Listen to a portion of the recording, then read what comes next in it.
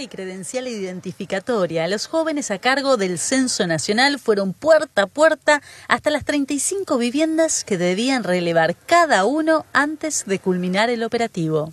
Comenzamos con completando los informes para facilitar eh, para adelantar el trabajo y ahora vamos caminando para ir a censar en las viviendas. Se empiezan casa por casa. Casa por casa, edificio y los negocios. Hasta las 18 horas contaron con acompañamiento policial aquellos que debieron desplazarse por barrios humildes. El mecanismo de trabajo implica la afectación de 280 efectivos de manera específica al censo. En total son 350 efectivos de Policía de la provincia de Santa Fe, a los cuales se suman unos 300 efectivos más de las fuerzas federales. La carga de datos se realizó en las mismas escuelas donde se dispuso la integración de los censistas.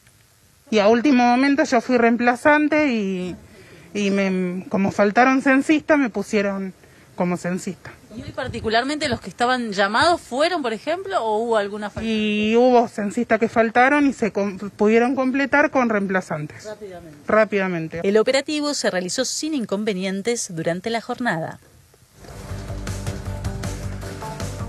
Transcurrieron las horas. Sí. Y ahí empezaron a surgir los problemas, porque claro, algunos dicen, bueno, llegará un poquito más tarde, llegará al mediodía, llegará... Se había facilitado un 0800 para realizar todo tipo de reclamos, denuncias. ¿Qué colapsó? Colapsó. Claro. Se dio otro teléfono particular también que no había forma de comunicarse constantemente ocupado y las dificultades de la gente. Se les pedía un poco de paciencia porque terminaba a los 18. Sin embargo, nunca llegaron y no fueron casas de pasillo fueron edificios, fueron barrios, manzanas completas manzanas donde no completas, pasaron. Claro. Eh, lo cierto es que a las 18 horas se cerró el sistema y en aquellas escuelas donde se pudo trabajar y donde se recibió a los censistas que fueron, esto también lo vamos a destacar, uh -huh. porque hubo ausentes, eh, se culminó una jornada que la verdad que hace mucho tiempo no se vivía de manera, podríamos decir, exitosa, al menos para aquellos que cumplieron con su tarea. Se acercaban las 18 horas y a contrarreloj los censistas entregaban sus planillas de las zonas relevadas durante el día. El departamento Rosario se dividió en 80 zonas con diferente cantidad de manzanas a censar. En el normal número 3 tenían aproximadamente 90 cuadras de las cuales casi un 90% de los domicilios fueron censados de manera exitosa. En general los censistas no han tenido dificultades, han podido hacer la tarea. Eh, hubo las dificultades mayores son con la sincronización entre la app del sistema censar y el, lo escrito, digamos, que van haciendo el, el doble control con las planillas. Ahí radica el mayor problema algunos casos muy puntuales de gente que se negó a ser censada y que después tuvimos que volver y convencer. Sin embargo, hubo algunos departamentos, edificios nuevos de menos de dos años de antigüedad que no fueron censados por no figurar en el listado de domicilios asignados. El relevamiento para el censo, lo que nosotros nos explicó el IPEC, que se hizo en el 2019 previo al censo 2020. Entonces, eh, había algunos edificios en construcción que ahora ya están habitados. Ahí radican algunas diferencias entre el papel y la realidad y eso pasa a supervisión y eso se va a hacer eh, entre mañana y pasado. O sea, se van detectando esos segmentos eh, que quedaron con algunas viviendas sin censar, fundamentalmente estos casos, y esos se vuelven a censar. No existe el domicilio. El tema es que si el edificio no figura porque es un edificio relativamente nuevo, porque es del año 2020, debería haber eh, avisado el gobierno de que, bueno, todo lo que era con anterioridad sí iba a ser censado y con lo que, lo que era con posterioridad no iba a estar, no, no figuraba en los registros. En estos casos, el reclamo y el enojo de los ciudadanos se hizo notar, ya que esperaron en sus domicilios durante todo el día y temen tener que pagar las sanciones que el gobierno nacional anunció como posibles si no se realizaba el censo.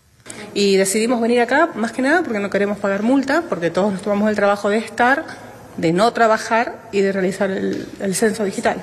Por otro lado, las censistas que recorrieron las calles de la ciudad hicieron un balance positivo de su labor como una experiencia diferente que quedará en su memoria. La experiencia fue linda, sí cansadora, porque bueno, es una parte en la calle, con la gente, todos muy amables, la verdad que nos atendieron muy muy bien. Y bueno, después teníamos la parte administrativa donde había que cerrar el conteo y demás. Pero bueno, bien, una jornada linda, el grupo que trabajamos, bien. ¿Experiencia la repetirían? Eh, en 10 años te contesto. ¿Por acá?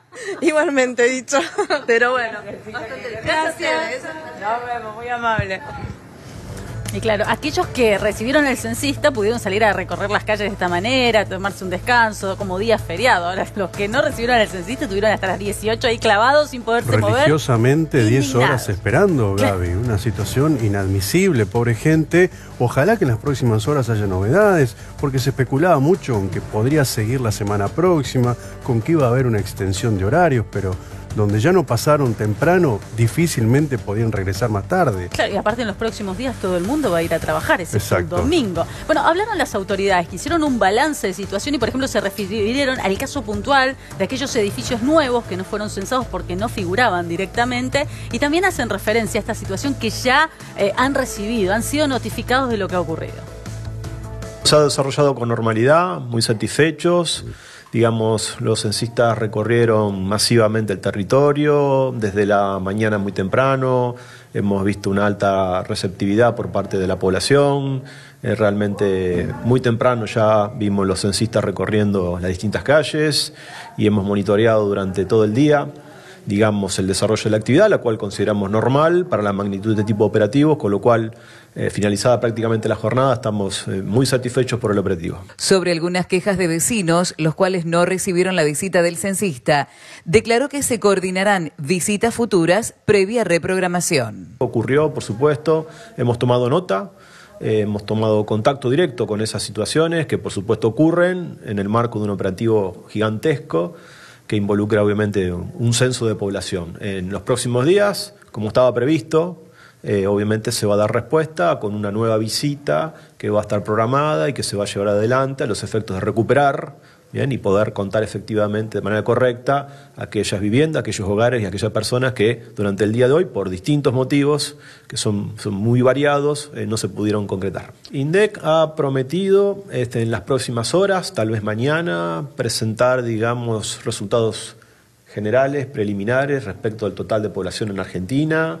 Eso lo, esperamos con, con, gran ansiedad y, y seguramente luego con el transcurso de los meses vamos a tener resultados ya digamos, con mayor nivel de desagregación, por ejemplo, de carácter provincial, pero para eso vamos a tener que esperar unos meses.